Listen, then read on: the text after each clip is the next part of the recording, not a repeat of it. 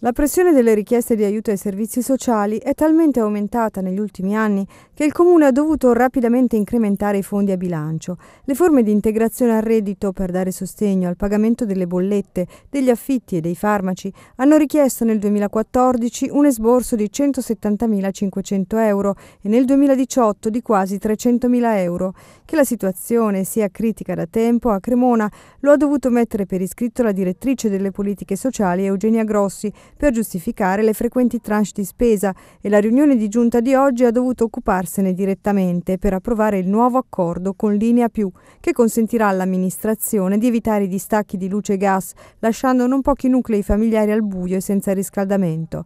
Sarà formato da un gruppo di lavoro che comprenderà operatori dei servizi sociali e funzionari del gruppo LGH allo scopo di gestire i casi di morosità incolpevole ed eventualmente estendere la protezione sociale.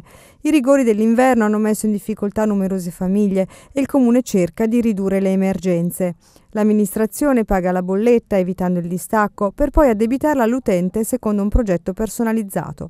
Circa 400 famiglie hanno ottenuto il bonus energia negli ultimi anni. L'assessore Mauro Platea ha sottolineato che lo stesso tipo di collaborazione si può attivare con altri gestori della luce e del gas che abbiano responsabilità sociale nella speranza che tutti aderiscano.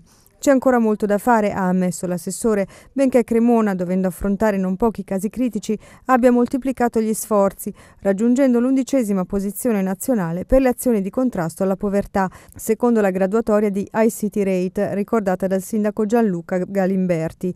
Il 2019 si è aperto rinnovamento allo stanziamento di 594 mila euro per l'integrazione delle rette di ricovero nelle case di riposo, cui si aggiungono altri 520 mila euro per le integrazioni delle rette di inserimento in strutture semi-residenziali CDD di persone disabili o con problematiche psicosociali, rinnovando l'impegno economico del 2018. Nel bilancio 2018 la voce di spesa diritti sociali, politiche sociali e famiglia ha richiesto un impegno di 21 milioni e 640 mila euro.